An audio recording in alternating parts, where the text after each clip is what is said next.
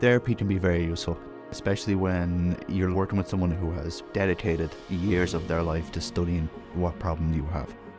And then if you look at, you know, diet, exercise, all the the things that we have to take into account, you do have to do a lot by yourself, but humans are social creatures. We thrive on being together.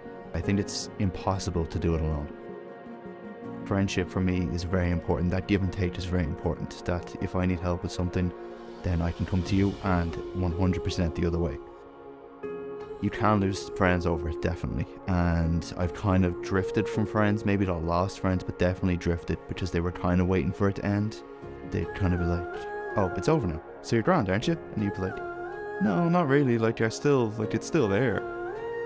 I had to tell myself and reinforce myself that this isn't optional. You have to do it.